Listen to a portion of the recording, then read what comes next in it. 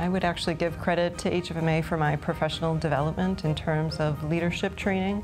They really prepare you for each position that you undertake in the organization. It's been an amazing resource to me, uh, especially as I'm fairly young in my career. I'm able to uh, tie into people who've got a lot more years of expertise. There's a lot of intellectual capital from different perspectives.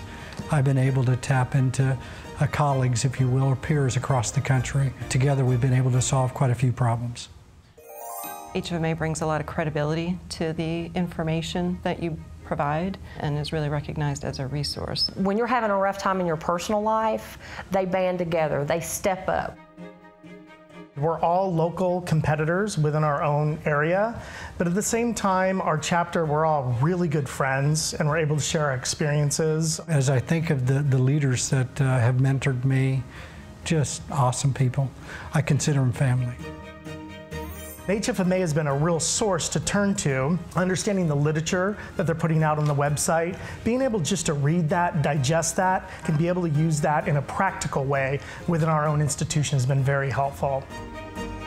I've become more confident, I think, in my role, being able to go into a room not knowing people and having the confidence and um, wherewithal to, to meet people and make those relationships.